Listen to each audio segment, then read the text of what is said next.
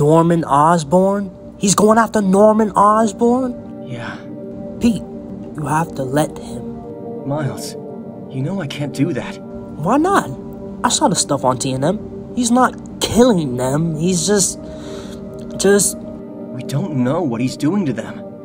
I know that Nefaria dude went from being an international terrorist to a guy who knits a lot.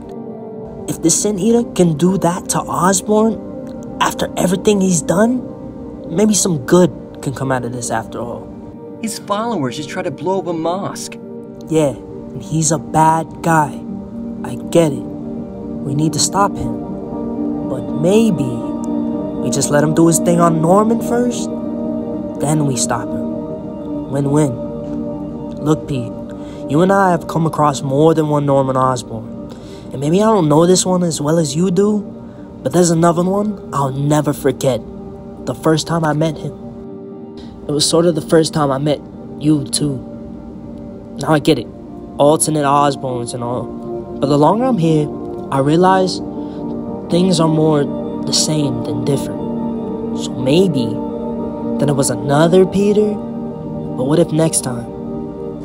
I can't let that happen to you, man. I appreciate that, Miles. I really do.